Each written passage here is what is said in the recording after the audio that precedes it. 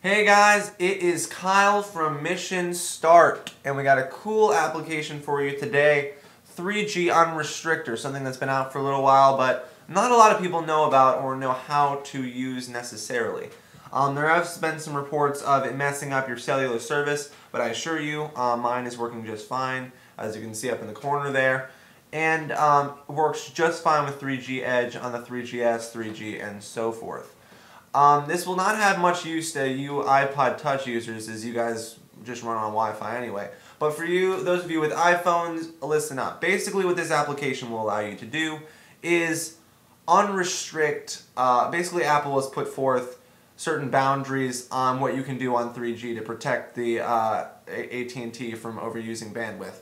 But what you can do using this application is uh, basically set up certain applications to overwrite these issues. And I'll get into that when we open up the app. So this is the application right here, and it'll look a little bit different if you're on a different theme, obviously. But um, that's it right there. So we're going to go ahead and open that up. And um, this is the opening screen. Um, very keep it simple, stupid type of application. And all you need to do is go into Edit, Add, or the plus sign, and you're going to be given a menu of your applications. Now what you can do is basically tap the application, I'll do it with AdBlock, and it will add it to your list. Now, something to keep in mind is, is that you will have different kinds of applications. Like I'll show you for as an example, when you go to block or fix the App Store, which only allows you to download applications under 10 megabytes on Edge, which is kind of annoying if you want to download something a little bit larger while you're not at home or at a Wi-Fi hotspot. What it will do is it will give you this special message Warning, you might have to reboot your device to unrestrict this app. Please shut down the device and turn it back on. A respring is not enough. So what you're going to do is you're going to click OK.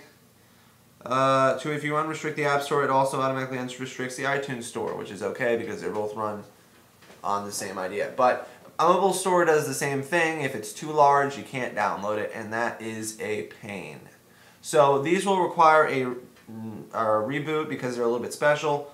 Similarly, we can go down to the S's, uh, and uh, some of you may know that Skype would be one of those things that may cause some people some issues or applications along those lines that have that you cannot you can no longer call over 3G. Um, they're they're in dispute about this right now, and by the time that this video is put out, it may already be fixed. But for now, you cannot call over 3G and uh, this application will allow you to do that and that counts for Fring and uh, and all the like. So this is basically a um, very useful utility uh, for the iPhone and will basically allow you to open up your usage and get the most out of your cellular network. Um, but make sure you follow the directions and do reboot or you may encounter some issues.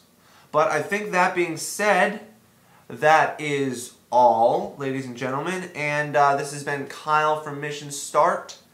And thank you for watching and stay tuned for some awesome videos.